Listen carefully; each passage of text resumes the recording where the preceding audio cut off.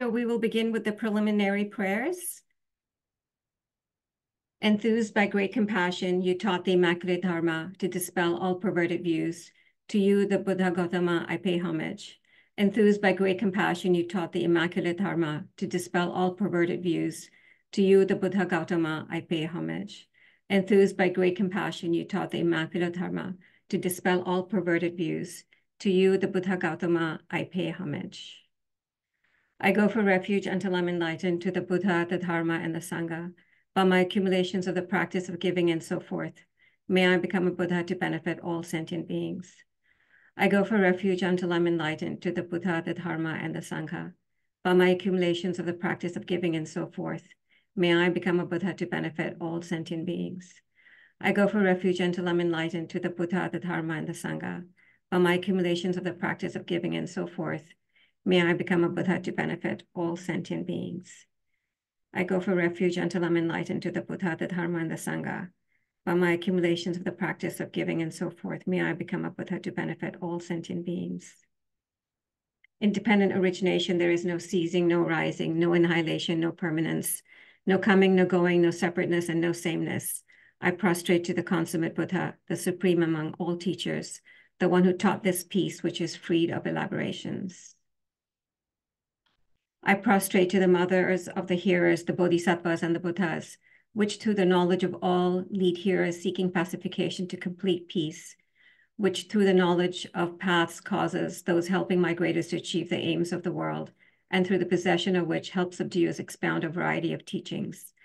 The one who is transformed into the reliable guide motivated by altruism to benefit sentient beings, the teacher, Sugata, and protector, to you I make prostrations the one who has eliminated the web of conceptualizations and is endowed with the divine bodies of the vast and the profound, who eternally shines forth the noble, the forever noble light rays. To you, the Buddha, I make prostrations. Inspired by wisdom and compassion, today in the Buddha's presence, I generate the mind of full awakening for the benefit of all sentient beings. The dependent origination mantra Om ye dharma hetu prabhava hetum tesham tathagato hyapatat tesham chayo nirodha evam vadi mahashramanaye swaha. Om ye dharma hetu prabhava hetum tesham tathagato hyapatat tesham chayo nirodha evam vadi mahashramanaye swaha. Om ye dharma hetu prabhava hetun tesham tathagato hyapatat tesham chayo nirodha Evam Badi Mahashamanaye Swaha. All phenomena arise from causes. The causes are taught by the Tathagata. The cessation, the cessation of the causes as well is taught by the great seer. Profound, peaceful, elaboration-free, clear light and non-composite. Such is a nectar-like dharma I have discovered. Finding no one to fathom this teaching, in silence, I will retire into the woods. Beyond utterance, thought, and expression is the perfection of wisdom, which is unborn, unseized, and has the nature of space. It is the object of apprehension of self-realized wisdom. To you, the mother of the Buddhas of the three times, I pay ob obeisance. All composite things are impermanent. All contaminate things are of the nature of suffering. All phenomena are of the nature of emptiness and selflessness. Transcending sorrow is peace. The Guru is the Buddha, the Guru is the Dharma. Likewise, the Guru is the Sangha. The Guru is the source of everything wholesome. I go for refuge in the Guru. By the sound of the vibrant drum of Dharma, you liberate all beings of miseries. I beseech you to kindly remain and give teachings until the end of the expanse of billions of eons. The Buddha does not wash the negativities of beings, nor does he remove their miseries by his hands. His spiritual realizations are not transferred to them. It is by the teaching, but it is by the it is by teaching the truth of suchness that beings are liberated. With folded hands, I beseech the Buddhas of all directions to shine the light of Dharma for all bewildered in misery's gloom. If you're attached to this life, you are not a spiritual practitioner. If you're attached to samsara, you have no renunciation. If you're attached to your own self-interest, you have no bodhicitta, if there's, there is grasping, you do not have the view. Praise to Shakyamuni Buddha. To the founder, the endowed transcendent destroyer, the one gone beyond, the foe destroyer, the completely perfected, fully awakened being, perfect in knowledge and in good conduct, Sugata, knower of the world, supreme guide of human beings to be tamed, teacher of gods and human beings, to you, the completely and fully awakened one, the endowed transcendent destroyer, the glorious conqueror, the subduer from the Shakya clan, I prostrate, make offerings, and go for refuge. To the founder, the endowed transcendent destroyer, the one gone beyond, the foe destroyer, the completely perfected, fully awakened being, perfect in knowledge and in good conduct. Sugata, knower of the world, supreme guide of human beings to be tamed, teacher of gods and human beings, to you, the completely and fully awakened one, the endowed transcendental destroyer, the glorious conqueror, the subduer from the Shakya clan, I make prostra I prostrate, make offerings, and go for refuge. To the founder, the endowed transcendent destroyer, the one gone beyond, the foe destroyer, the completely perfected, fully awakened being, perfect in knowledge and in good conduct. Sugata, knower of the world, supreme guide of human beings to be tamed, teacher of gods and human beings, to you, the completely and fully awakened one, the endowed transcendental destroyer, the glorious conqueror, the subduer from the Shakya clan, I prostrate, make offerings, and go for refuge. When, O supreme among humans, you were born on this earth, you paced out seven strides, then said, I am supreme in this world.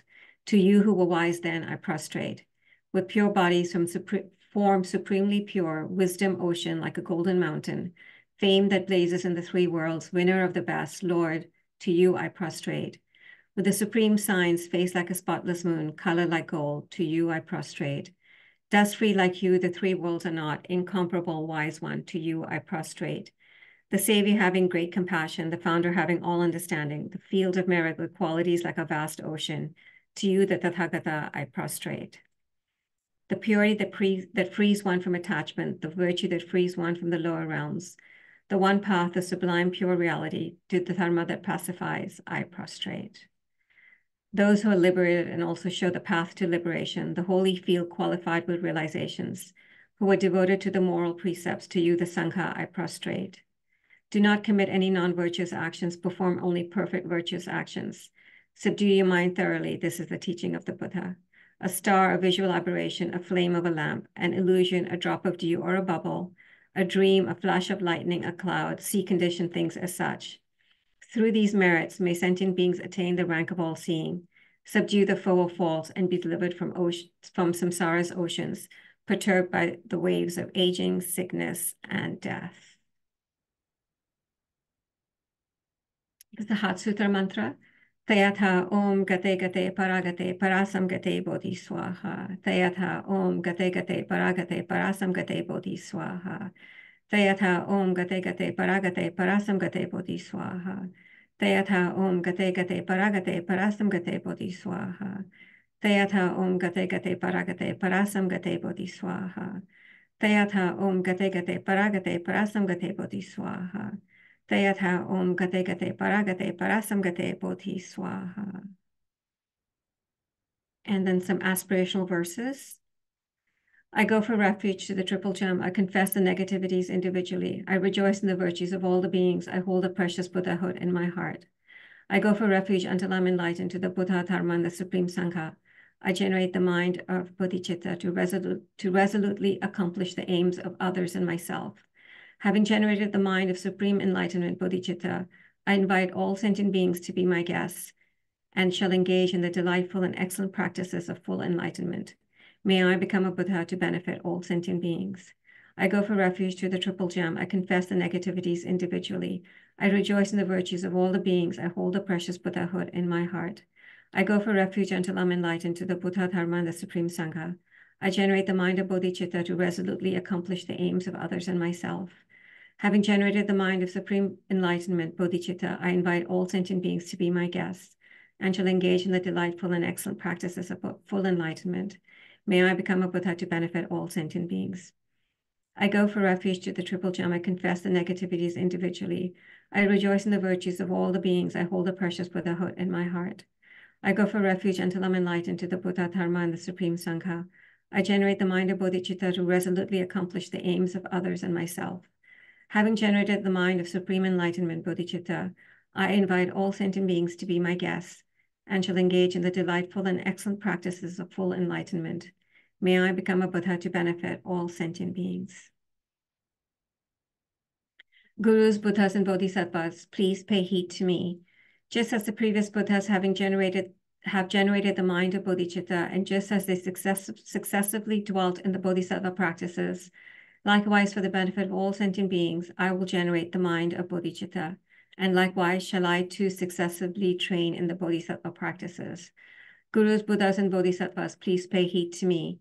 Just as the previous Buddhas have generated the mind of bodhicitta, and just as they successively dwelt in the bodhisattva practices, likewise for the benefit of all sentient beings, I will generate the mind of bodhicitta, and likewise shall I too successively train in the bodhisattva practices.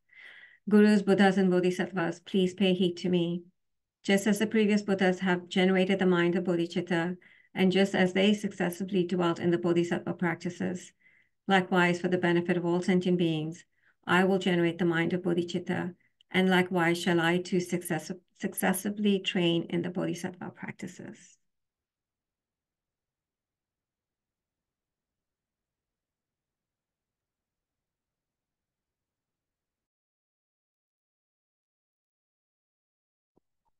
Uh, thank you, Sneh.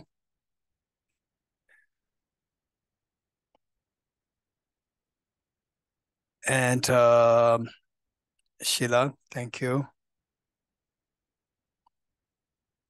And we have Abelardo. Okay. So nice to all of uh, meet all of you. Thank you.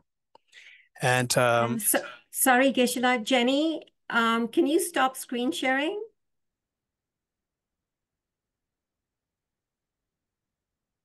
Sorry about that, Geshe-la. Okay, no problem. Uh, thank you. Um, okay, so the um, first of all, I welcome you all to this the the teaching on commentary on the awakening mind, uh, composed by Arya Nagarjuna at the request of the Shantideva Buddhist Center at PMT in New York. And um, just for just the background information about this text, commentary by commentary on the awakening mind or bodhicitta.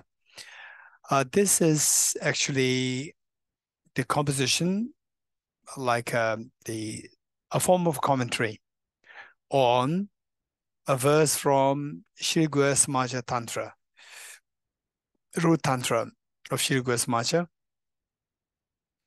And then the uh, one thing that we need to know as to the difference between the Tantra and Sutra is that the um, say first of all, we it's very important for us to get away from the uh, miscon- the misconceptions of what tantra is. Uh, this is very important, and the first of all, what we need to keep in mind is that the tantra is a very sophisticated practice, and in the first place, it is referred to as the um, uh, the the secret mantrayana secret, which means that the it should be maintained confidential for the reason that very sophisticated practices, they oftentimes people they don't have the right mindset, they don't have the uh, the the proper the ability to understand it, and then uh, can actually damage themselves. For example, like the medicines, all the medicines we see that it bears a label. We said that keep out of keep out of reach of children. It doesn't it doesn't mean that these medicines are something very esoteric. It's because that these are very helpful, but the children they don't know as to how much to to take, the, the dose, amount of the dose. They don't have that capacity. And then the not only children, even the elders also, for example, like sleeping pills. um, oftentimes they take more than the they took more than the dose prescribed by the the doctors, saying that okay now it is not effective. I cannot sleep even with the sleeping pills. Then they take more, and then they uh, feel overdosed. It, it what happens oftentimes. So with this in mind, uh, this is one thing that we need to keep in mind, and particularly um, the, the here, I see that the people from Shantideva Center um, no doubt you have the good exposure to the very precise, appropriate dharma. And I see that, in fact, the people who are more closely associated with very standard teachers, their understanding of dharma becomes naturally very good. And um, the, for example, like say, I have my friend here, Jeffrey and Laurie, both of them who have been very close, closely associated, who have been closely associated with uh, the, the most venerable Kyabje Rinpoche. And uh, the um, so there, even I had the honor, also had the honor of uh, the receiving teachings from Kyabje Rinpoche, Kyabje uh, Geshe Wangda Rinpoche. And the because there are two of them are very closely associated, and in fact, two of them are very meritorious that they had the honor of the serving uh, the most the the Venerable Kyabje Rinpoche in his last days. That's amazing. So the what I'm saying is that these people who are with the very standard teachers, naturally the outlook of the, the dharma, be it sutra, tantra, it becomes very standard, very authentic.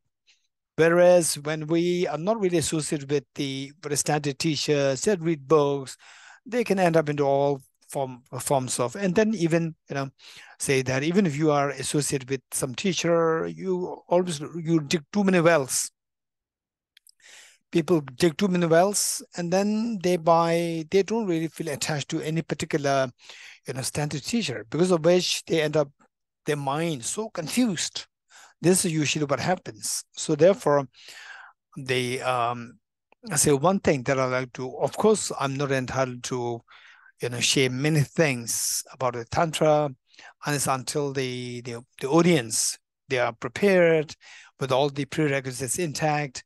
Um, the but there are a few points which, if I if I may share with you, is that one thing is that is all about finally uh, the awakening of Buddha nature. First, we begin by the, the basic question: What do you want? this is from where we, we need to, to begin. Um, the say, what do you want? So say the say sometimes uh, people who uh, they uh, bring their friends to Tibet House, and, and then they said, okay, so you must come to Tibet House here. And there are so many teachings happening. I said that don't make things boring. So we don't know what the inclination of the other person is. So we I just say that uh, come to Tibet House, not for teachings, but for a cup of tea. Because this is the, you know, we don't know what the, the other person actually seeking. And we cannot really bulldoze somebody to study Dharma and so forth. The point is that the, it must happen with the, say, the, the unfolding, gradual unfolding of the, the, the greater and greater meaning of one's life. And with this in mind, um, the the people they first they go for the external factors. I want happiness. I want good. They say the the reputation, the community, good salary, good place to stay, good health, insurance. This is one thing. They, they, they, these should not be neglected. Number one. Then number two, that you once you have these things, then still something is missing that with these things intact, still it doesn't guarantee that I'm happy. There's something lacking. Some people who have who are billionaires, but essentially extremely, extremely unhappy, which means that they don't get what they are looking for, initially thinking that it's all coming from outside. Now you see that you have everything, but the conventional world says that this is everything. You have it, still you're not happy. So then you start look for look inwardly Looking inwardly, then you come to know that the real source of happiness within you. That is known as Buddha nature, the seed of, seed of awakening. And this Buddha nature, when it's called the Buddha nature, Buddha, Buddha doesn't mean Buddhism. Don't forget, let's not forget it. It doesn't mean Buddhism. The Buddha Shakyamuni, who is revered as the founder of the Buddhism, uh, the this Buddha nature existed way before the Buddha Shakyamuni was born on the planet Earth. So, and that the, the Buddha, Buddha is awakening, awakening, perfection. And this seed of perfection existed not necessarily within the Buddhist. It exists within everyone. It is, exists within everyone. All the sentient beings, not only human beings, not only males, not only females, everyone, not only human beings, animals, insects, ghosts, god and goddesses, spirits, everyone has the Buddha nature. Zero perfections within everyone. It's for this reason that the Buddha made it very clear that everyone is equal. There's no one who is higher, lower. Everybody is equally important. So therefore, the Buddha very strongly stood against uh, any form of discrimination uh, during his while he was alive. So he fought against gender discrimination. He fought against racial discrimination, caste, and so forth. So it's all because that that the, he was he was fully convinced that there is what is known as the of perfection, technically referred to as the Buddha nature or Tathagatagarbha within of all sentient beings. This is the one thing that we need to know. Once you know that externally, it doesn't guarantee that you get a maximum happiness, but you do have the the seed of the maximum happiness, infinite happiness, or the fearlessness if there's a case, and of course, the first thing is that how do you know that we all have this zero perfection? There's one thing that we have to study. We don't we we will never get to understand it through blind faith. It must come to us through proper studies. And the, the, best book, one book that I would suggest is by Aranyaka known as the on the Dharma Dharmadhatu Stava in praise of Dharma Dharmadhatu. That text must be studied, and then you will get a deeper conviction in the fact that we, I do have the seed of perfection within me. There's no reason why I should, simply because the world is turning against me, doesn't mean that I should go down. That the say what the world is, that's a different story. But I have the seed of perfection within me. Everybody has the seed of perfection. Seeing the seed of perfection within you, you don't feel hopeless. Seeing the perfection, seed of perfection within others, you feel that you respect everybody else equally. So the next question is that after getting conviction in this, that I do have what I'm seeking is I'm seeking fearlessness and infinite happiness. You know, in short, we are seeking fearlessness, infinite happiness. And to really seek it, it makes sense only if you have the capacity to to get it do you have the potential to get it? Yes, after both energy with me. This is the next thing that we need to be convinced. And that it is actually within me. Number two. Once you know this, why it is not visible at the moment, why I'm not experiencing it at the moment, is because it must be obscured. It must, it, it must be veiled by some obscurations. That is number three. And what are these, what are these veils which obscure this amazing precious Buddha energy within us, what veils these the the uh, this potential. This next question. So for that, then we talk about the two obscurations, afflictive obscurations and the cognitive obscurations. And since here, I see that most of you, uh, the your your face is familiar to me, so therefore, I will not really go too too detail into this what constitutes afflictive obscurations, what constitutes cognitive obscurations.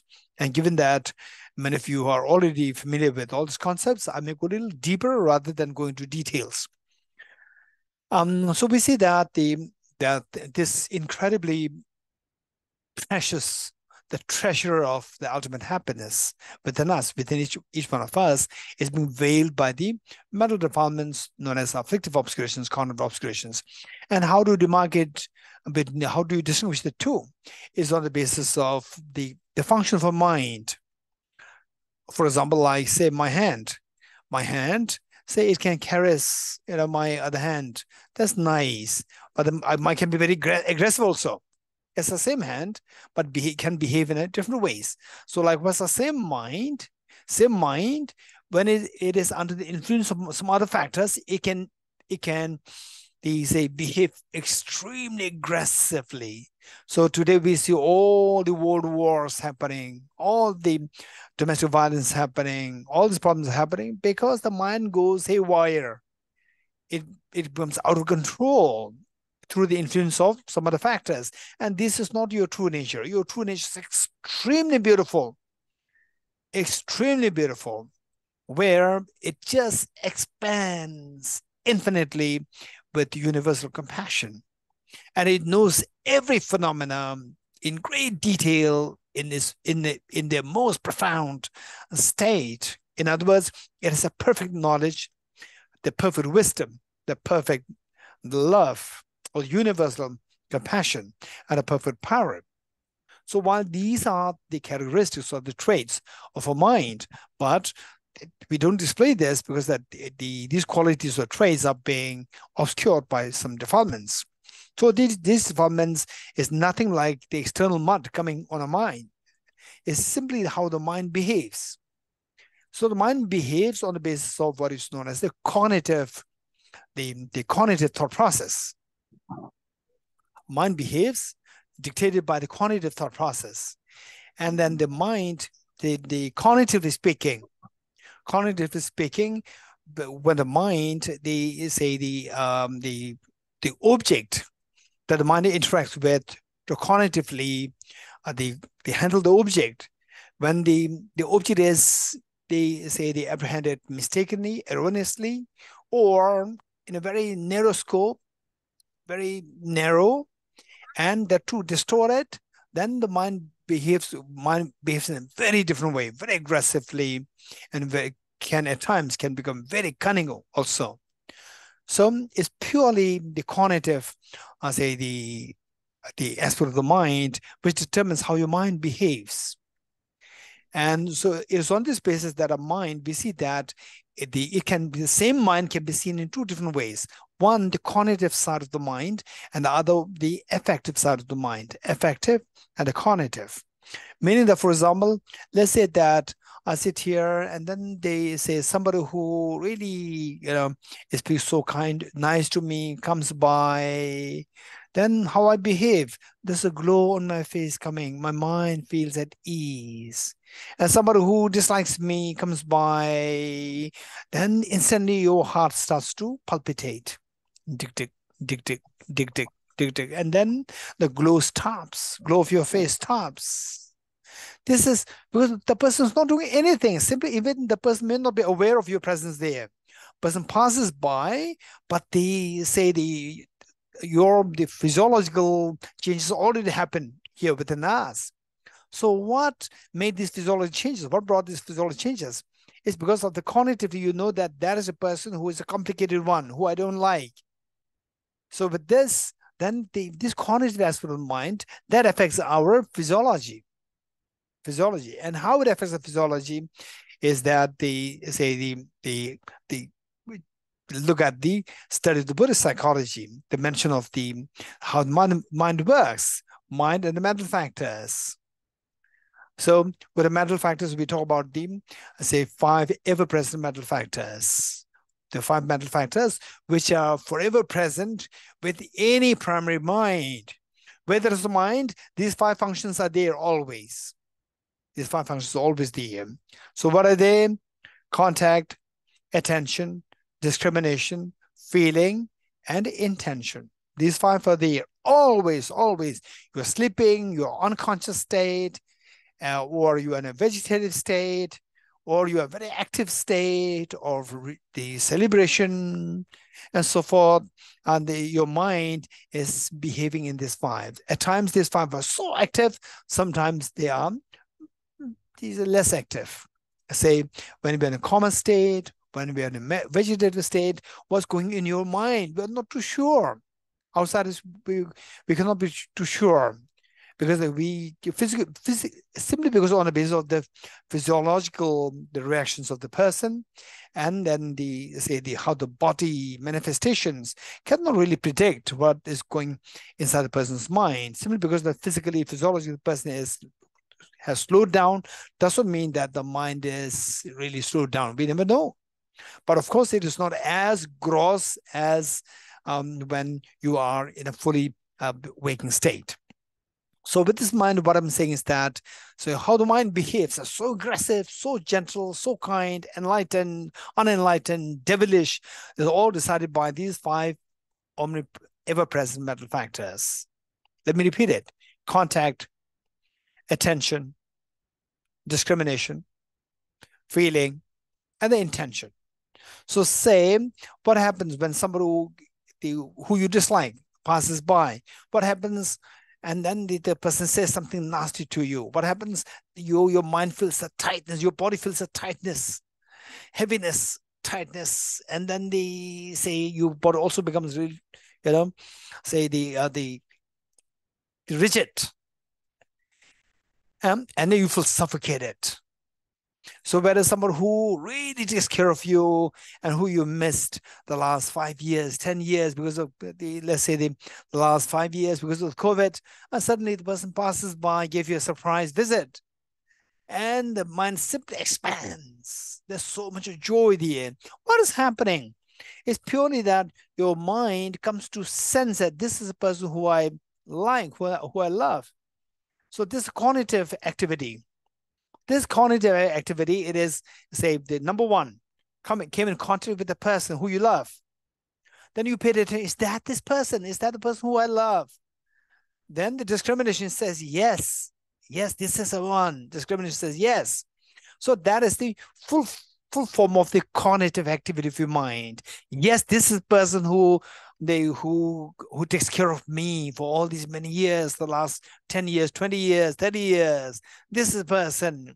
So the cognitive activity of the mind, which dis- cognitively discerns that this is a person. Then the feeling, the next feeling, the feeling is because that this is the is something you are in favor of, the feeling is extremely pleasant. You feel so pleasant feeling. So this pleasant feeling uh, you like the pleasant feeling or not. You like the pleasant feeling.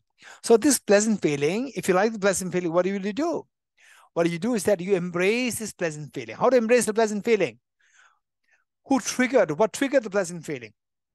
You will to sustain the pleasant feeling.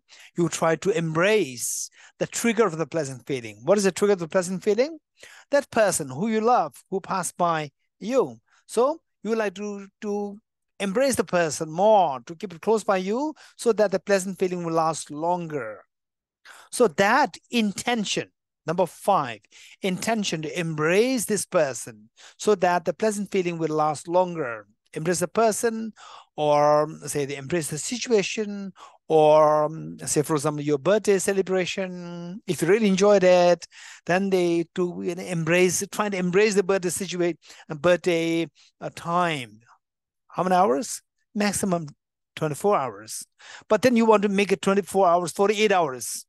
You know, if there's a possibility to embrace it, keep embracing it 24 hours and just stretch it, right?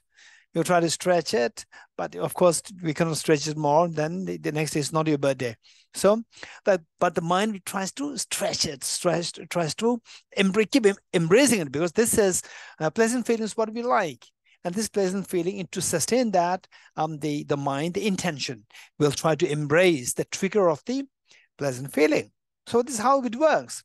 Now if the nasty person passes by or a situation a situation which you dislike you happen to meet with a situation cognitively you are aware that this is the the the uh, the situation which i dislike and then the with this, the feeling is unpleasant feeling. With unpleasant feeling, you don't like it. Because you don't like it, intention will make to resist. Resist the trigger to push the the trigger of the unpleasant feeling. So that resistance, if the situation is such that it doesn't go away easily, then your mind will continue to resist, but it fails, still still resist it, resist it. And that is known as the stress and this is reflected in your physiology. Say your blood pressure shoots up, your body heats shoot they shoots up. So all these are the, the physiological reactions manifested uh, when the mental the uh, mental factor of the intention when it starts to resist the stimulus of the unpleasant feeling. So um, the and then if the person does not see any proper solution then the person will resort to anger. Anger. So therefore, anger is not a sign of anger, aggression. These are not the sign of strength. These are the signs of weakness. Failing to see the solution to the problem, then you resort to anger, aggression, so forth. So this is where all the this is where it's like the same hand behaving very nicely, the same hand being very very nasty. Same hand. So the same mind can behave so well, the same mind can behave so aggressively. So how it, behaves very aggressively is the determined by the unpleasant feeling, which in turn determined by the discrimination, which in turn determined by the information uh, that you gathered by the the the contact and the attention. And if the information is so less, information is erroneous, then you are bound to have the discrimination, a wrong discrimination. Cognitively, erroneous discrimination, because of which the feeling is going to be unpleasant, because of which the intention is going to be resistance. So um, then the, these wars on the global level, it leads to extremely unkind, inhumane um, behavior in some people. Whereas if the discrimination is extremely rich, profound, so if this doesn't work, there's another way of working because nobody wants, uh, say the nobody wants, uh, say the mental disturbance. And when you resort to anger and aggression, mental disturbance also happens to you. Nobody wants it. So therefore, and you have lots of the, the choices. If this doesn't work, that's the choice B. If B doesn't work, that's the choice C. Because you have a vast array of information, deep information, so because of which that the your mind is ever calm. Calm. So that is, and particularly if knowledge is full, perfectly deep and perfectly vast. So you have all the solutions. This is when you are known as the omniscient mind, omniscient person, omniscient one. And your mind is omniscient mind. So, so, so there, that you feel the ease, total ease. This is known as infinite happiness, universal compassion. Okay, so with this in mind, our job here, after learning all these things, we see that I don't want suffering, I want maximum happiness. And the suffering and happiness, which which is the suffering which I shun and the happiness which I embrace, these are all mental states. And the mental states, when it is under the sway, under the sway of ignorance, lack of information, erroneous information, and the narrow information, then the consequences that I go through miseries, resistance, mental intention to resist. Whereas if the information is vast, broad, deep, complete, then uh, the, uh, the feeling is very pleasant feeling. So uh, the intention embraces. So this is if this how how it works, then I need to really work on um, the so to fix my uh, the discrimination, mental factor of discrimination. That is to make my cognitive, uh, the the cognitive activity of mind complete, vast, deep, and the with the the proper in properly in the orderly form, not chaotic. So our job is to say the we build that mental state, the discrimination, with the the vast knowledge and the deep knowledge. So that is known as wisdom. And particularly uh, the one wisdom which makes your knowledge so deep is the wisdom of emptiness. So what is being, being discussed here is the wisdom of emptiness, because that finally the root of all our miseries, the root of all the miseries which the Buddha identified when they uh, they the, with the mantra of which Sneh uh, recited Ye Dharma Hetu Prabhava Hetum Tesham Tathagato Hevatat Tesham Chayo Nirota Evam Vadi Mahashramanaya Soha. All phenomena arise from causes, and the causes taught by the Tathagata. The cessational causes as well as taught by the great seer. So here, that all the problems, the root, the, the causes of the, the problems, the are what the Buddha identified, Tathagata identified. And these causes, which the Buddha identified, are further explained by Aryanagarjuna in his text, Mula Madhyamaka Karika, or the fundamental wisdom of the middle way, where the Buddha taught that the say the of karma's afflictions is nirvana. Karma's afflictions arise from conceptualization of inappropriate attention, which in turn arises from elaboration of self-grasping ignorance. The elaboration ceases through the wisdom of emptiness. So here are the, the four causes identified by Aryanagarjuna. And the he commented upon these four, which were actually taught by the Buddha himself. The contaminant karmas, afflictions, which in turn are, they arise from the inappropriate attention, inappropriate attention, and then finally the self-grasping, elaboration of self-grasping ignorance. So the Buddha identified the ignorance as the root of all the miseries. If you don't want the miseries, then get rid of this ignorance. For example, like in the olden times, like 2000 years ago, when the global warming was out of question, um, Arctic Circle, all these glaciers, they were seen as extremely stable and strong. And there's on these glaciers, you can stack, you can build, you can build houses. You can stack stories and stories, stories. Then after 2000 years, now 2024, with the global warming unexpected in those days. Suddenly global warming happened after 2000 years. Now today, as all these glaciers, they start to melt. And then all what is stacked, automatically they crumble down.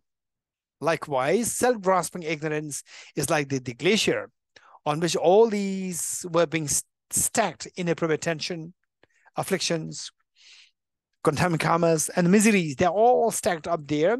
So when the glacier melts, the glacier of self-grasping ignorance melts by introduces a counter force, which is wisdom of emptiness, then automatically all what is being stacked on this, they all crumble down, dissolves and misery is gone, that is happiness. That is the ultimate peace.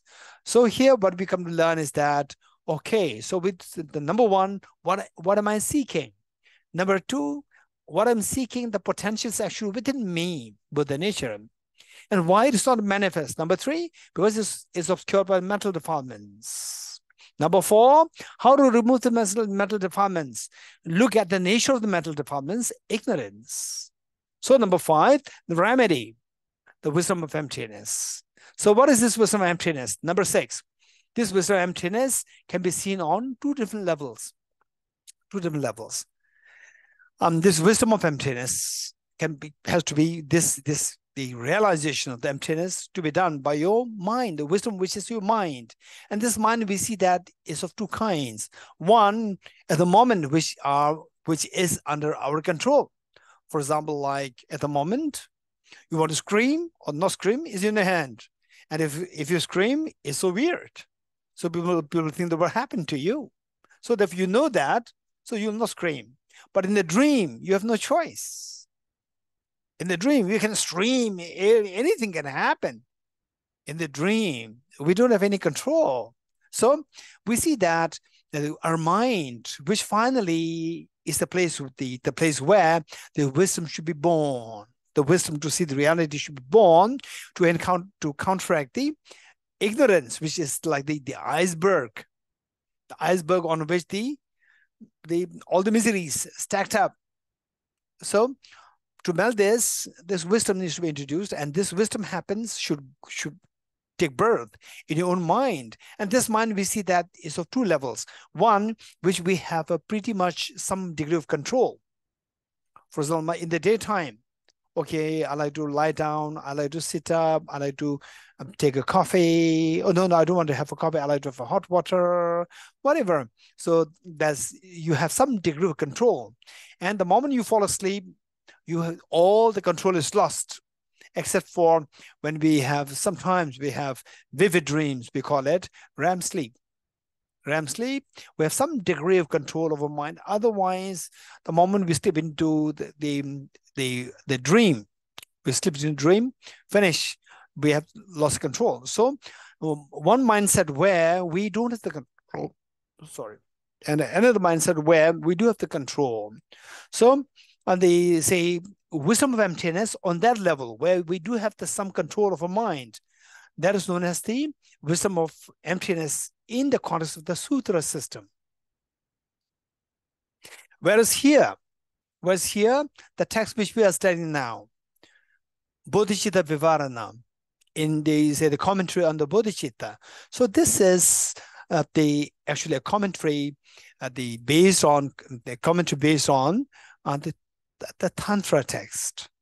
So there is the, the same wisdom can be born in a mind which which is which is really not in our control, neither not in the control of the people who are not trained like us. Where so the moment you go into sleep, with for example, if I ask you that they who likes to have a dream of um, being with a dream of His Holiness inviting you for a cup of tea, everybody will say, Yes, yes, I like to have this dream. My next question Who will have this dream tonight? Who likes to have the dream tonight? Everybody will say yes. But who will have the dream tonight? Who will have the dream tonight? Nobody will raise hands. Why not? Why not? It's a very pleasant dream. Why not? Why not are you going to have this dream tonight? Because I don't have the freedom to choose this dream. That's the problem. So so one mind, there's one set of the, a set of minds which we don't really have much control unless until we are trained. But there's another set of mind which have some degree of control, the waking state.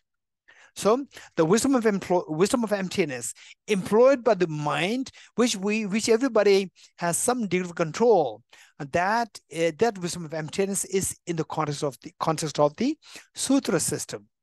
And the wisdom of emptiness employed by the mind, which the ordinary people cannot have access to in terms of the control. That is the wisdom of emptiness in the context of the tantric system. So Tantra Sutra, it does it's not about, you know, it's not, not about that you can do anything. Like you can drink alcohol and these things. There is Tantra and Sutra. No, you have to, you know, self-denial. You're not supposed to have this. You are not supposed to do that. This is Sutra. This is totally naive. It's totally naive. Same, Say where is the first in order to, for example, it is like say going crossing crossing ocean. First, you have to yeah, it should be you start from the so from the coast, from the coast. From there you start. There's only way you cannot jump into the the center. Even if you fly, you have to fly passing by the the the coastal area, and then you go to the center, the the mid, and then cross. This is the only way. Likewise, first we need to control our the, the mind. So therefore I said that right from I do I do not say that we have full control in the waking state. Even in the waking state, we don't have the full control. Because even the waking state, if I said, okay, now how many you are calm and peaceful now? Abelardo? Yes, we are all very calm. Abelardo, yes? Abelardo, you're calm. Yes, we're all very calm, right? So I tell you that are you in a waking state or are you in a dream? You're in a waking state. So then what I said is that, okay, you are calm, you have some control of your mind. Whether you like to think of flower or not think of flower, yes, you have control. And if you think that you have full control, just see somebody who you, uh, I said that keep the calm, they give yourself cool and calm for the next two hours. And then within five minutes, I send somebody who who you dislike terribly the person, right? To just be with you, just stay there, don't talk anything. And then you feel suffocated, right? Where's your cool? It disappears. We don't have the control. We don't have the control.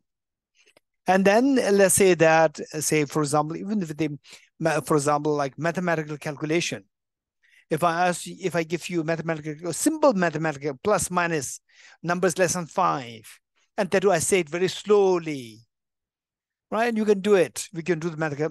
Oh yeah, I know that. And but if I say it very fast, you like you lo- you like you you lose track of the calculation, which then you cannot really maneuver your mind as much as you like. It's not really in our hand, even in the waking state. Forget about the uh, when you are in the sleep state. So, sleep state, and then during the coma state, and then finally dying processes. So in all these the the in all these cases that since we are not trained, first we are not trained in the gross mental state.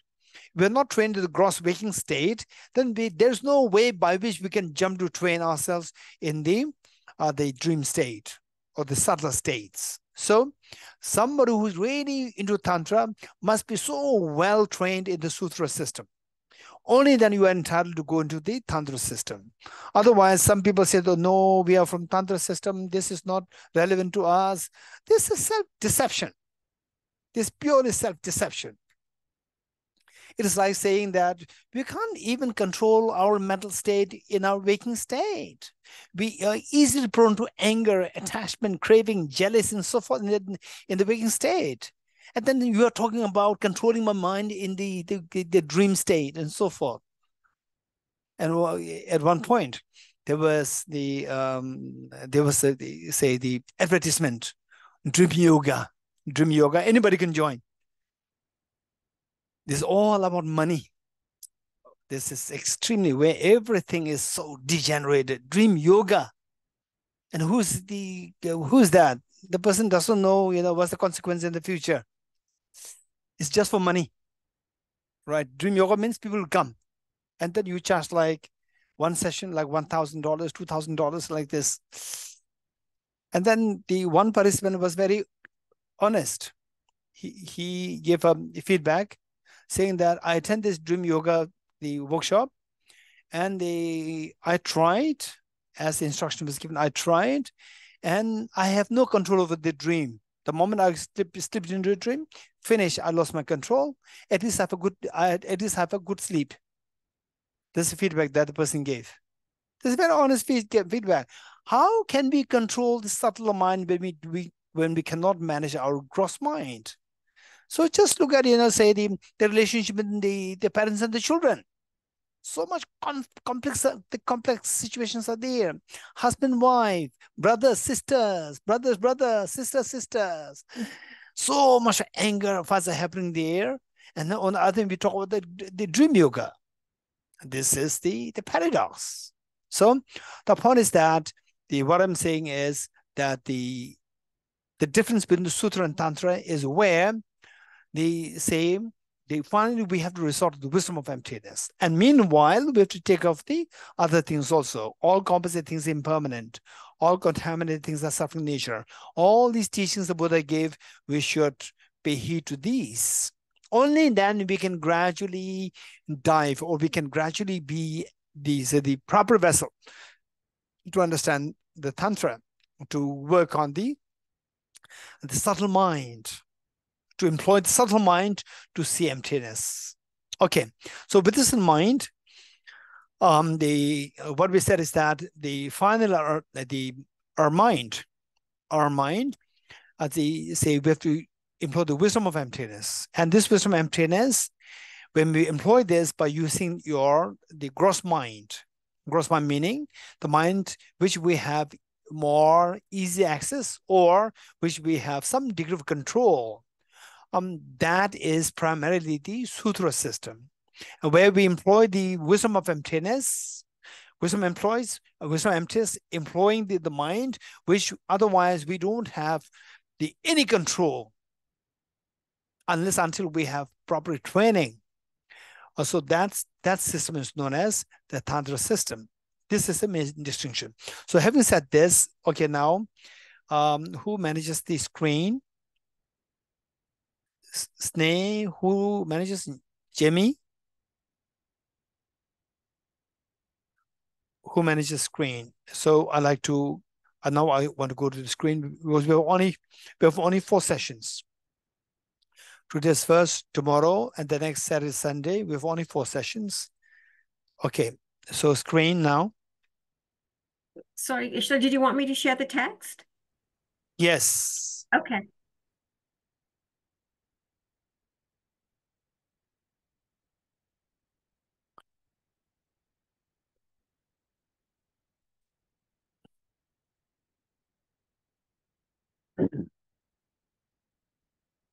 Okay, it says commentary on awakening mind.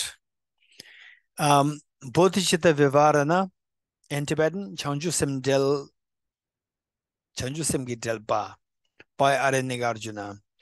Homage to glorious Vajra Sattva. Vajra Sattva. Vajra Sattva, of course, is the, the, the sacred name of a deity uh, particularly the in, in association with the purification practices, Vajrasattva. And Vajra has many connotations. The Vajra per se has many connotations. And to give a, um, the symbol one, which of course I'm not entitled to explain if whatever the I learned. I'm not entitled to, to share all these things, but to give uh, the I know that people who come here, you're all very genuine uh, from the the um, Shantideva Center as well as from the the my the, the friends who attend the my classes. I can see many of you there. So because of which I may share some of these. Vajra has many connotations. One is that the um, the Vajra in the say on the one hand Vajra it simply means the indestructible one indestructible one. Dorje in Tibetan, it is known as Dorje, indestructible one. The indestructible one, so indestructible is one. Then the next one is inseparable. Inseparable. Both connotations are there. And the um, say the um, let's say the our mind. Nothing can destroy a mind. Nothing can make a mind disappear. So in a way, our mind is indestructible. But the human form today, the human form, that is that can be destroyed. So now the, the thing is that it the has a connotation of indestructible, inseparable, inseparably indestructible. Okay, what is that? Um, say in the sutra system, we talk about the we talk about let's say that the the body speech, and mind. Body, speech, and mind. These three are seen as three distinct entities. In Tantra system, body, speech, and mind, when you really become enlightened, these two can become the same nature, same entity. So they become inseparably indestructible. Then the other one is the, the we talk about the method and the wisdom. Method and wisdom. Um, in the sutra system, we practice wisdom separately, method separately, and these two will support each other in ways of two distinct entities. They support each other. For example, like say the say on the um, it is like the two wings of the, the, the bird. The two wings are two separate entities, but the wing A helps wing B to fly. Wing B helps wing A to fly. So these two assist each other, help each other. These, these two work in unison, but these two are not same entity. These two are different entities. Whereas in Tantra system, um, the Vajra, the non-duality, inseparable, meaning the method and wisdom, they are seen to be conjoined within the same, same object in the form of same entity, in the form same entity of the so this is the what the method and wisdom. Method and wisdom in one entity um say that the okay so this is one thing. Then the next is the the method and wisdom in terms of uh, say uh, the in terms of your body and the mind. In sutra the body and the mind are to be seen as two distinct entities.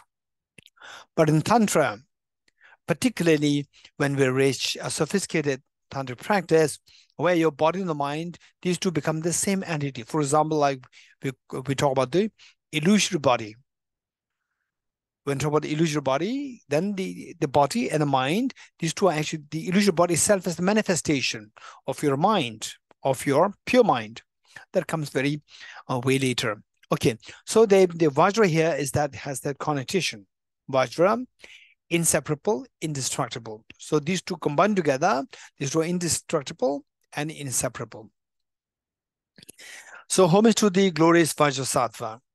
It has been stated. So this this verse, this verse coming from the Shri Guhya Samaja Root Tantra, devoid of all substantive entities, utterly discarding all objects and subjects, such as aggregates, elements, and sense sources Due to the sameness of selflessness of all phenomena, one's mind is primordially unborn.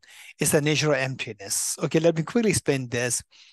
Um, devoid of all substantive entities. So the besides what your mind imputes, there's nothing really there as objectively as a substantial entity there. There's nothing really there. Everything is the nature of the emptiness.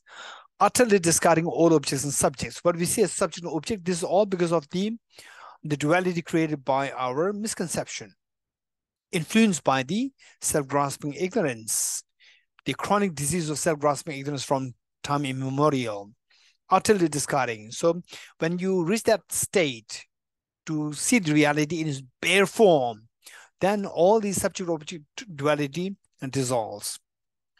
So what kind of the entities dissolve, such as aggregates, elements, and sensors? What do you mean by dissolve here?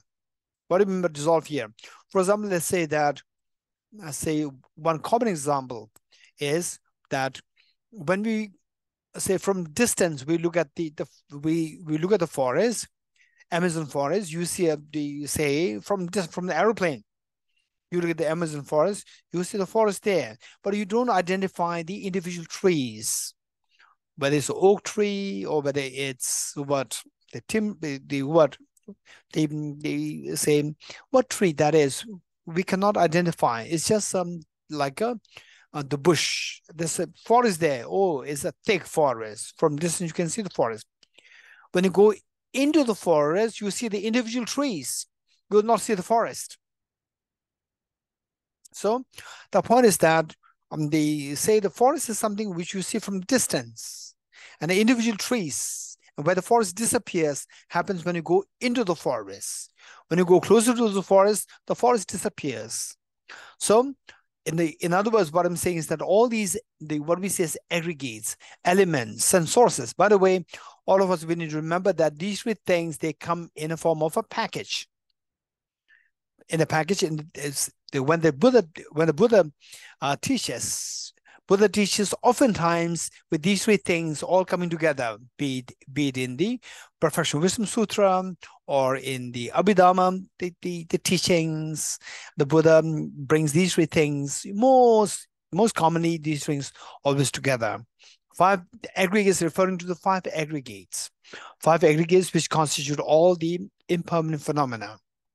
And the elements, 18 elements, five aggregates, the 18 elements.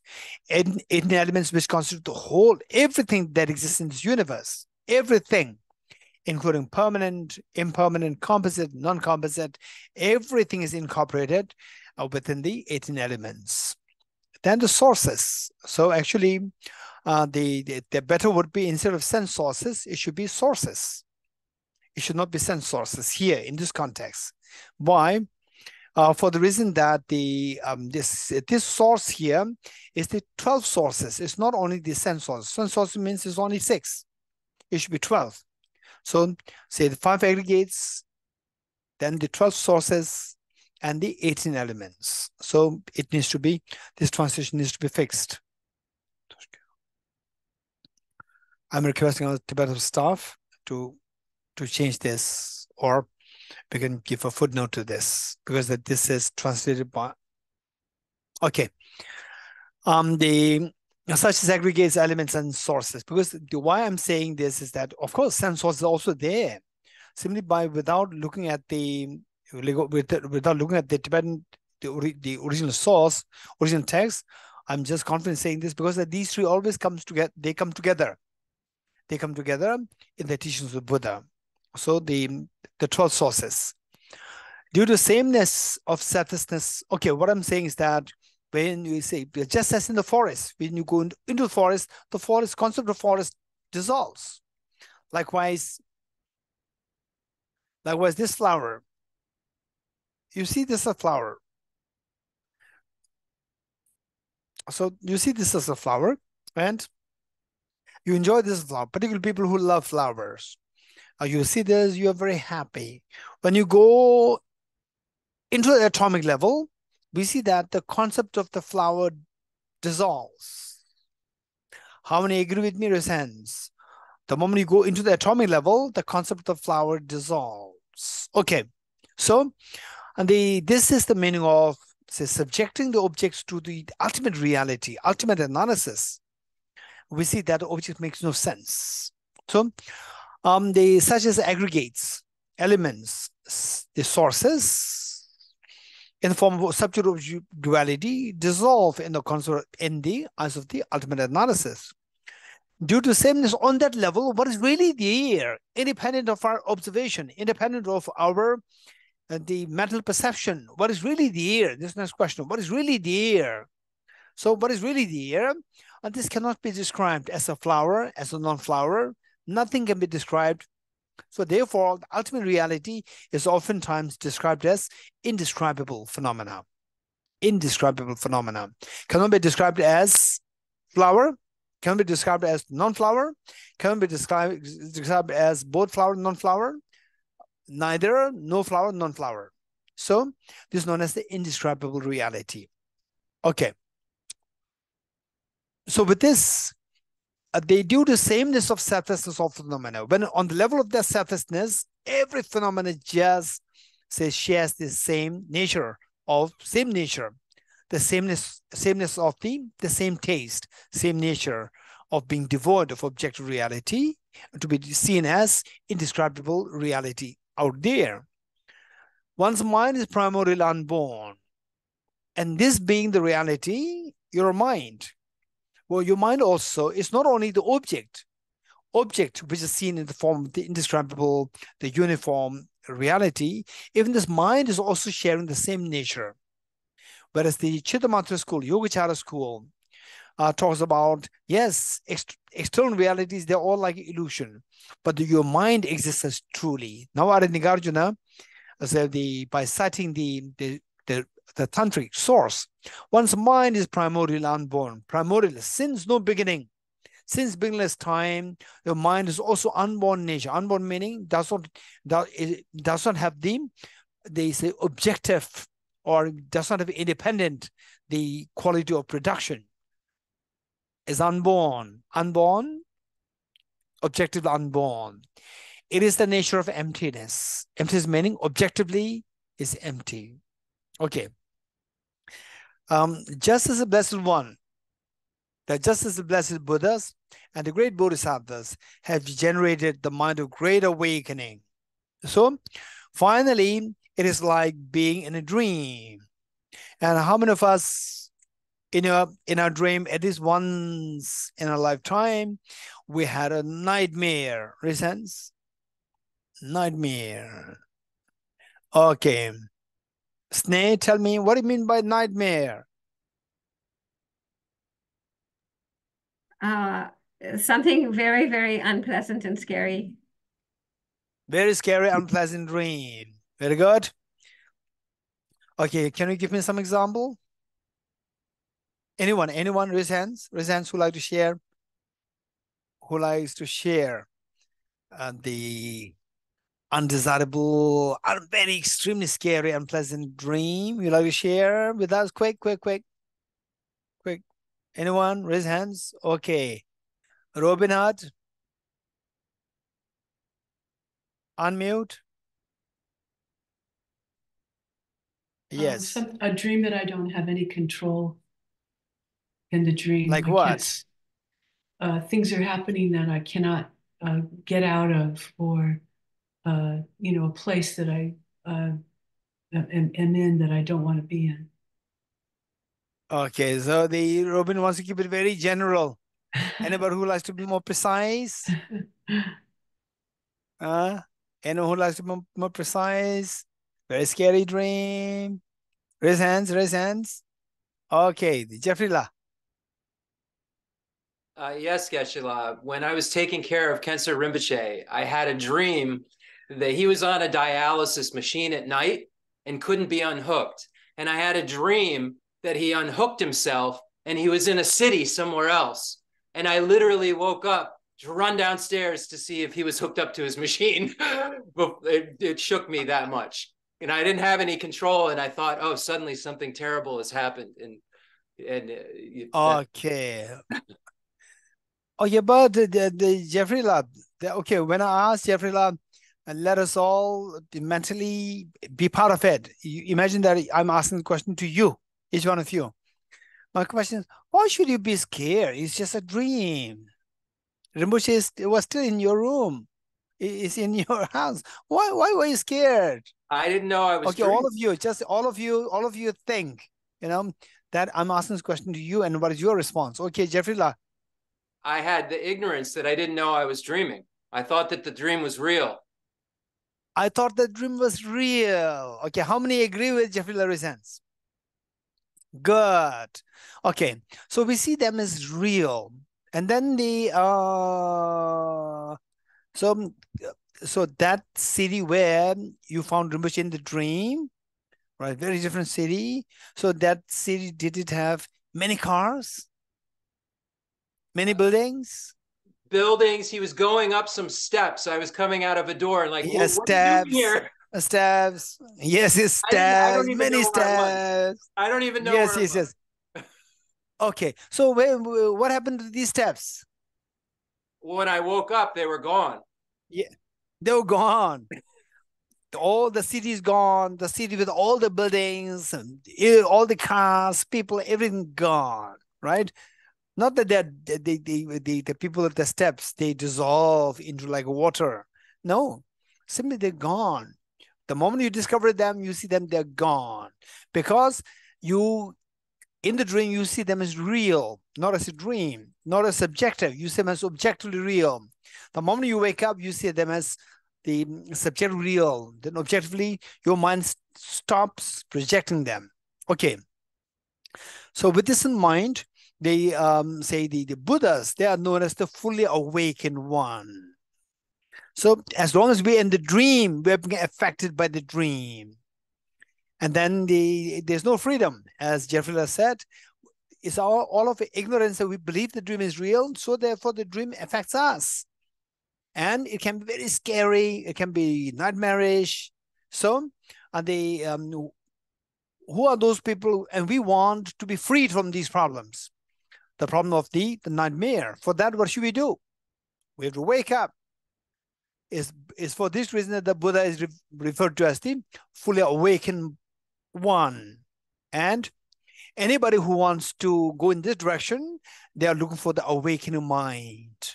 We need to build the awakening mind to be awakened fully at one point.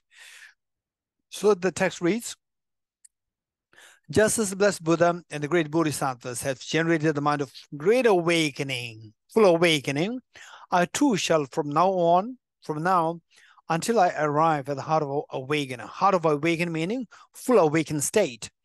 Generate the awakened mind in order that I may save those who are not saved. Okay, so this has several interpretations.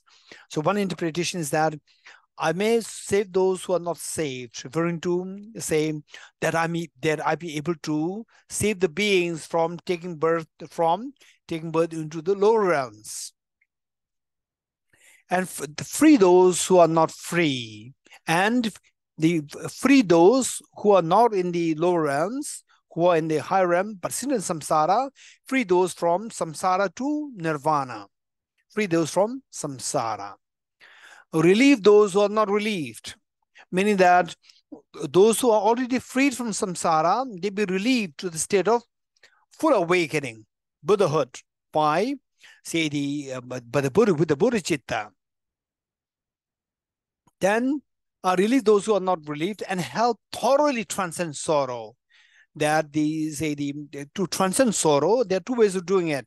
One is by sutra system and the other one the tantra system so the tant- employing the tantra system it it clears away the mental defilements completely so I said that the not only that the person be able to embrace full enlightenment on the basis of the sutra system, but also on the basis of the, the tantra system to activate the subtleness of the mind, which otherwise, which otherwise is totally out of our control. But to control them, use them to see the ultimate reality and free all the mental defilements. So, uh, the point is that without these, this the system, that even if you are able to see emptiness directly, the moment your mind slips into the subtle level of the mind, you don't have the control. So therefore, you cannot use this subtle mind.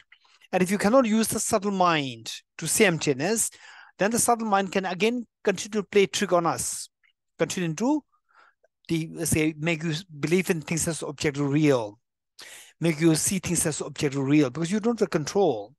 So with the tantric system, it helps us to uh, train to manifest this subtle mind under your control and then employ this to see the ultimate reality. So that all the misconceptions, be it on the gross level, waking state, or beyond the, the subtlest level, all are under your control. This is a full awakening, thoroughly transcend sorrow. Those who have not already transcended sorrow, those bodhisattvas who practice by means of the secret mantra, secret mantra, after having generated the awakened mind in terms of its conventional aspect in the form of aspiration, must then produce the ultimate awakened mind through the force of meditative practice. So here, bodhicitta, awakened mind, um, the in Sanskrit is the bodhicitta, in Tibetan Changjupsem. So this awakened mind is of two kinds. Uh, one is the conventional bodhicitta, and the other one is ultimate bodhicitta. So it's it reads here that those bodhisattvas who practice by means of the secret mantra, after having generated the awakened mind in terms of its conventional aspect, in the form of aspiration, meaning that may I become Buddha for the benefit of all sentient beings.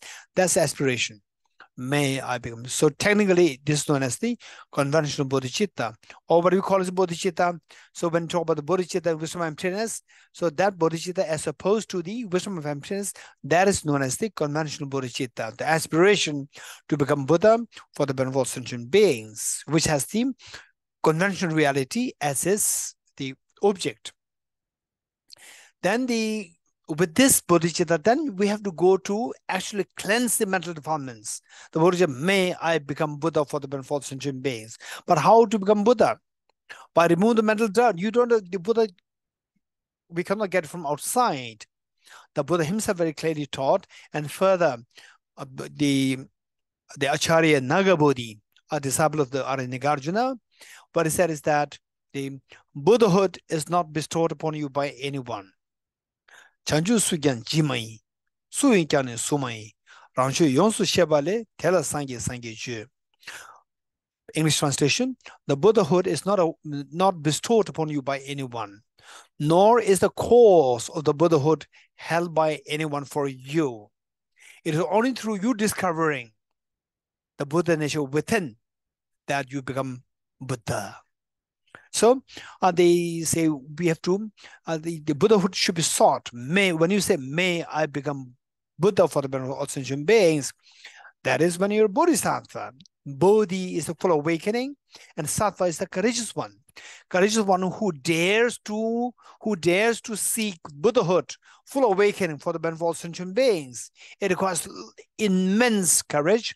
So that is known as a bodhisattvas. So for them, and the, the motivation is the conventional bodhicitta. With the conventional bodhicitta motivation, which is the, in the form of aspiration to become Buddha, you have to actually do something to become Buddha. What should you do? You have to, to resort to the means to cleanse the cleanse the mental defilements so that the Buddha, Buddhahood inside will manifest. So what is that remedy? What is that means to help remove the mental defilements? That is the ultimate bodhicitta. What is ultimate bodhicitta? Ultimate bodhicitta is the non-dual wisdom of emptiness of the Arya Bodhisattvas. Let me repeat it. What is ultimate bodhicitta? Of course, for us, we ultimate bodhicitta to attain Buddhahood is the Arya, the non-dual wisdom of emptiness of the Arya Bodhisattvas. Okay, so uh, the those those beings who generated who generate the conventional bodhicitta with aspiration, may I become Buddha for the benefit of sentient beings. You have to do something to become Buddha. You have to do something. What should you do? You have to do to remove the mental dirt so that the Buddhahood inside will be unveiled. So how to remove the mental dirt? By resorting to a very powerful remedy. What is that remedy? That remedy is the ultimate bodhicitta, the non-dual wisdom of emptiness of the Arya Bodhisattva. So it says that the, those bodhisattvas who practice by means of the secret mantra, after having generated the awakened mind in terms of conventional aspect in the form of an aspiration, then that bodhisattva must then produce the ultimate awakened mind. ultimate awakened mind is bodhicitta. Ultimate bodhicitta, which is the non-dual wisdom of the emptiness of the Arya Bodhisattvas. Through the force of meditative practice, of course, um, to reach to that level of non-dual emptiness, it must be preceded by the, the dualistic experience of the emptiness, which in turn must be preceded by the, uh, the wisdom of reflection on the emptiness, which in turn must be preceded by the reflection of the wisdom of the studies of the emptiness. In other words, studies, reflection, and meditation, they must go hand in hand in a proper sequence. Initially, vast studies, wisdom drive through studies, followed by wisdom drive through reflection, followed by wisdom drive through meditation. So within that, then there are two levels, wisdom drive through uh, the, the meditation, meditative wisdom, wisdom of meditation, of emptiness on the conceptual level and on the non-conceptual level. There are two. So the the uh, the ultimate bodhicitta is the on the non-conventional level. In order to reach that, first you have to go through the conventional level. So first you have to go through the conventional level. For example, in order to become a PhD in English, the the um, linguistics. First, you have there's no way other than to learn A for apple, B for ball. You have to learn this. And some people they say that no, so we have a direct shortcut, cutting through, cutting through, and so forth. This is all just you know. Yes, you can do that. First, you have to you have to for A for apple, then go into the complicated Shakespearean English, not directly Shakespearean English.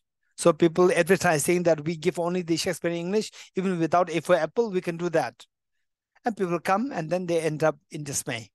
Okay, so these are the illusions created by some people. So we should be very careful um, not to deceive ourselves. Okay, so I shall therefore explain its nature. Now this says the Arya commentary bowing to the glorious Vajra holder. Vajra holder meaning Vajra, as I said earlier, the non-duality. The Vajra holder meaning uh, the practitioners, practitioners who perfected in the the in the assuming the the non-dual the non-duality of the body and the mind, non-duality of the uh, the non-duality of non-duality of the body and the mind, or the illusory body and the clear mind um, who embodies the awakening mind. So Vajraholder refers to all the Buddhas, all the Buddhas, who embodies the awakening mind, who embodies this uh, the awakening bodhicitta.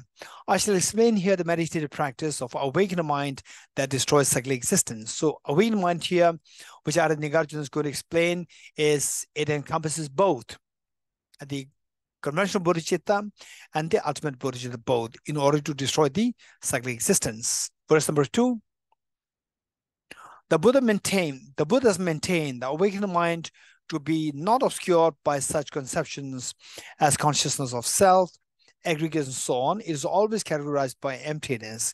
So this awakened mind, uh, they say finally, what what the what should we do?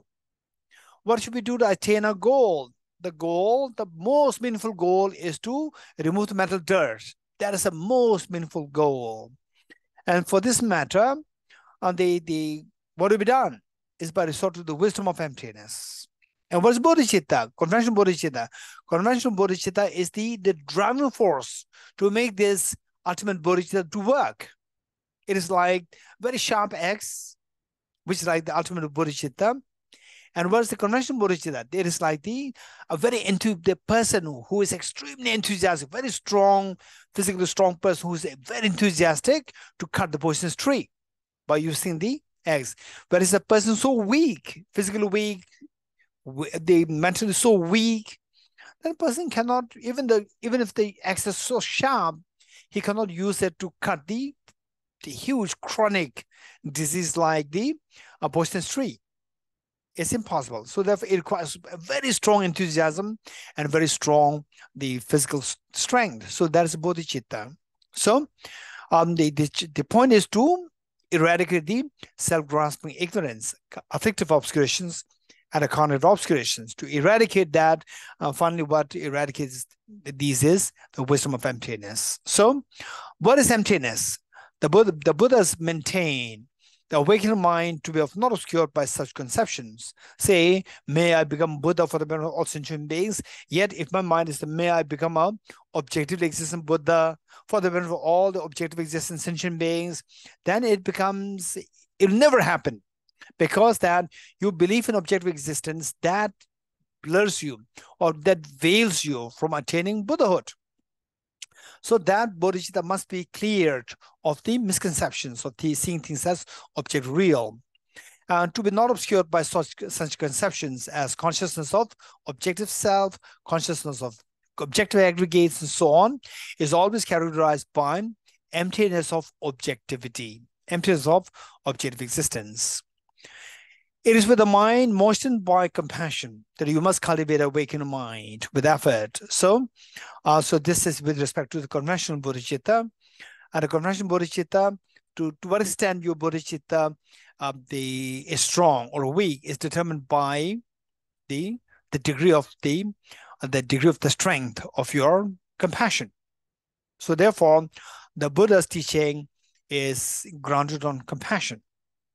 Buddha for Buddha, compassion is the, the basic fabric of the Buddha's teachings. So uh, the if you look at the, the two methods to generate bodhicitta, the sevenfold, uh, the method to generate bodhicitta, the sevenfold cause in effect means to practice bodhicitta, and the, the method of equalizing and exchanging self for others to generate bodhicitta for the two methods, we see that the compassion is there. The main aim is to build a compassion. Once you build the compassion, then the, the next is, okay, I want all beings to be freed from suffering. So how to make it happen? Who will do that? I will do it.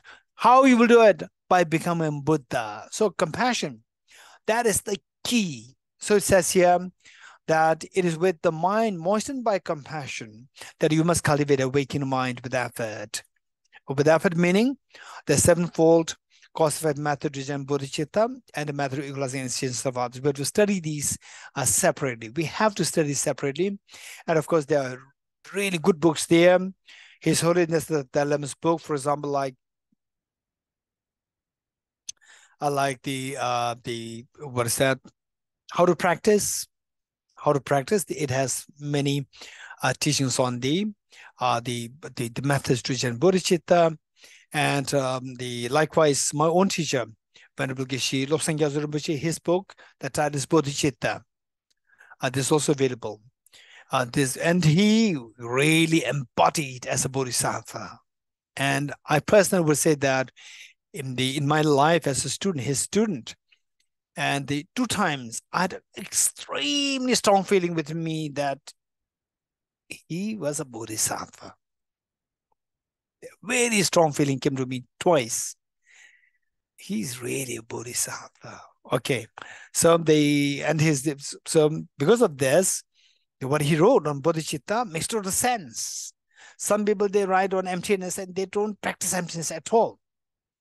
They write on emptiness, and they whole everything and they books "Oh, I book on this emptiness, that emptiness, so forth," and then they don't, don't believe in emptiness themselves. They believe in something else. You know, what they practice something different nothing to do with the emptiness. And one day I asked one, the, the, the person, I'm not going to mention the person. I told the person that, okay, now it is time for us to actually practice the wisdom of emptiness. And the person said that, no, I, I have my personal practice. I remember. And the person actually, actually, yeah, the person, you know, he comes to be known to the, the community through his book on emptiness, but he doesn't believe in this. He doesn't study, he doesn't practice the emptiness at all. And he, he says, Oh, I have, yeah, I have my present practice. And I know what that practice is. It's just a single point of meditation. And he feels calm, quiet. He shares some of his experiences. It's very sad.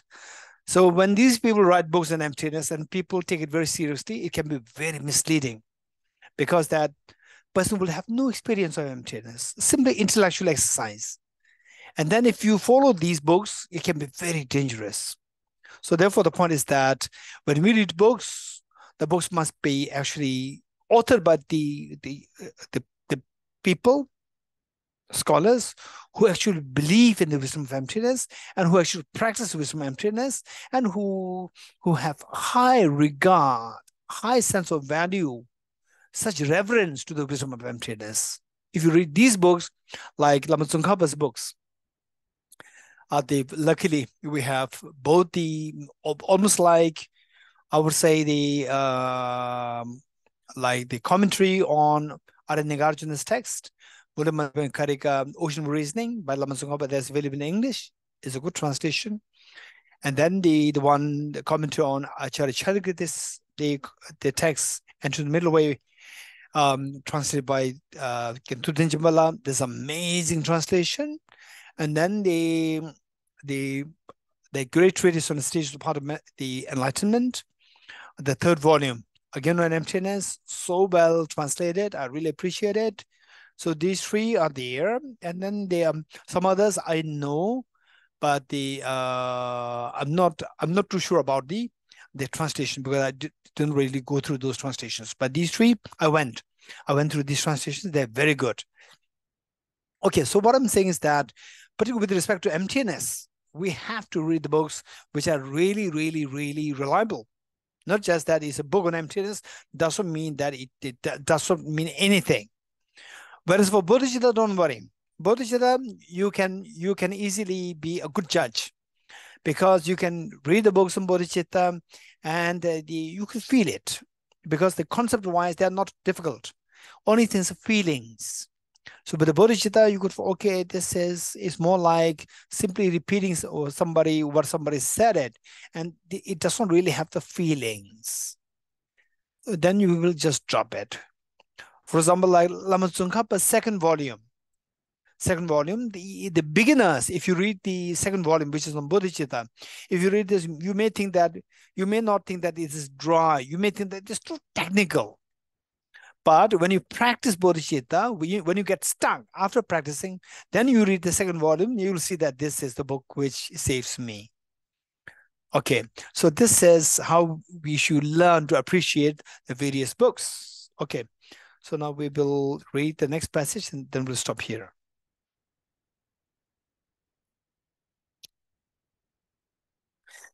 Okay, it is number three. It is with the mind moistened by compassion that you must cultivate awakened a mind or bodhicitta with effort. By depending on these two two methods, these two methods must be.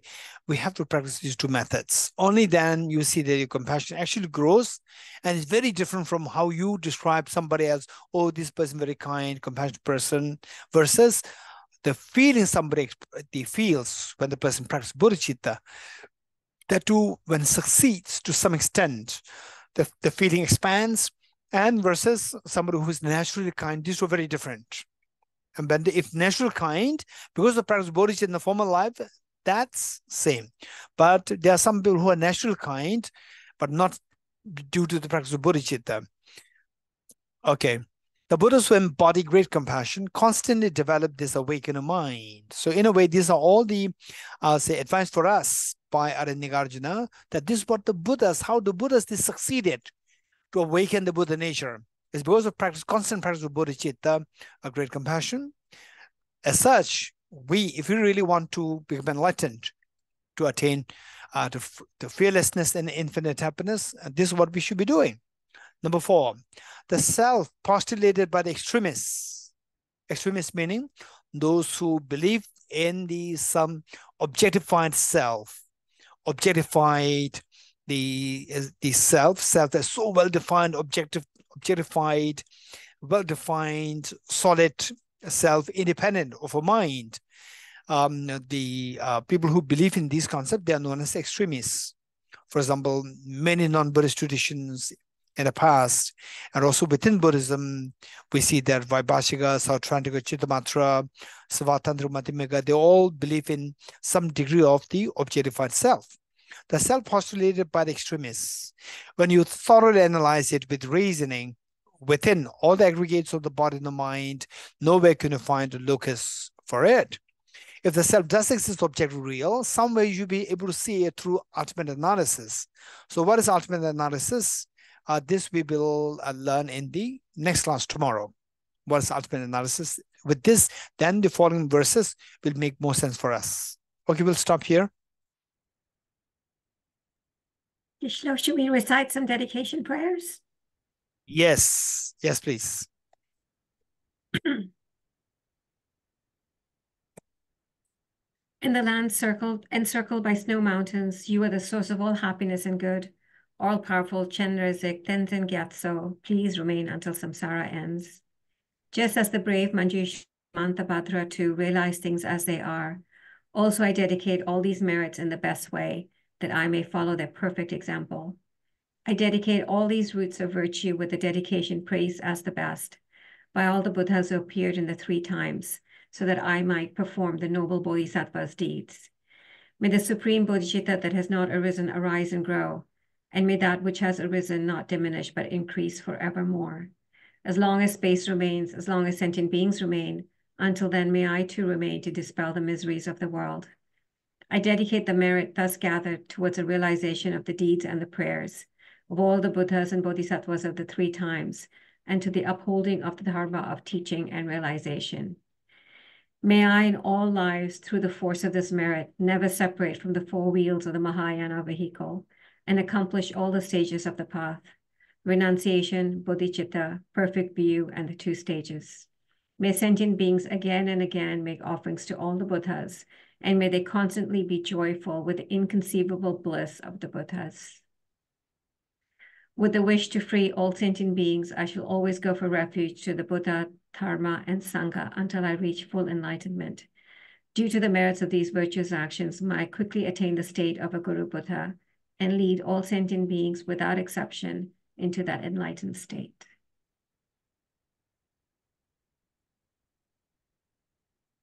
Thank you so much, Geshe-la. And we look forward to seeing you tomorrow. Have a good rest and good night. And for those of you who don't know, Geshe-la is in Delhi and it's probably past 10 p.m. for him now. So he won't be in bed till probably Okay. like 11. Okay, see you tomorrow. Thank you, Geshe-la. Thank you, everyone. See you all Thank you. tomorrow morning, or New York time. Bye-bye. Thank you. Thank you, Geshe-la. Thank you, Sid. you. Thank you, everybody. Thank you, Geshe-la. Thank you, Shantideva Center. Gadinche Krishna. Awesome.